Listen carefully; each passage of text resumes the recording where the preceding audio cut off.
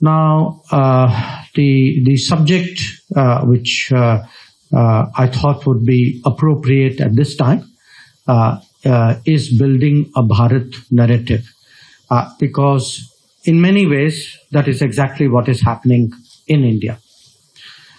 Now, what does it mean building a Bharat narrative?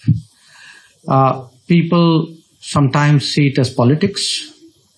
Sometimes they look at the word play uh, and think that this is some kind of linguistic message. But if you look at really the term Bharat, and I'm not getting into uh, the origins of the word or the history uh, of the concept, it today actually has multiple symbolisms in, in different domains. Economically, I would say, or economics wise, we would speak about a Atmanirbhar Bharat. So it has a connotation of a certain uh, resilience, a certain self-sufficiency, uh, a contribution, uh, uh a talent out there, uh, which is which is expressing itself. Developmentally today, uh, when we speak about Bharat, it also implies uh, a commitment uh, about creating a inclusive, just, fair society uh, where no one is left behind. And that is actually, in many ways, the true test of development. Politically, Bharat is a statement of independence.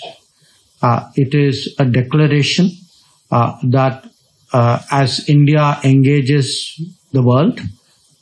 It doesn't have to be done necessarily in terms set by others or in frameworks determined by others.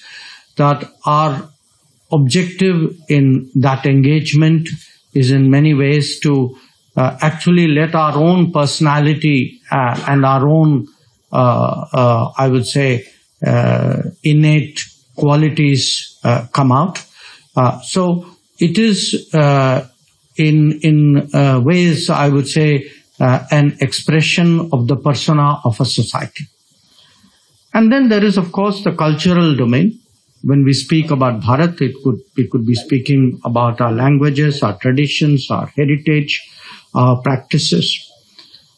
And when it comes to the world, uh, really uh, the the the Bharat that we seek uh, to set the narrative about is a Bharat which would like to be perceived uh, as a Vishwamitra, uh, as a friend uh, which at crucial moments has really stepped up, uh, stepped up in a way in which countries and societies normally don't do in international relations.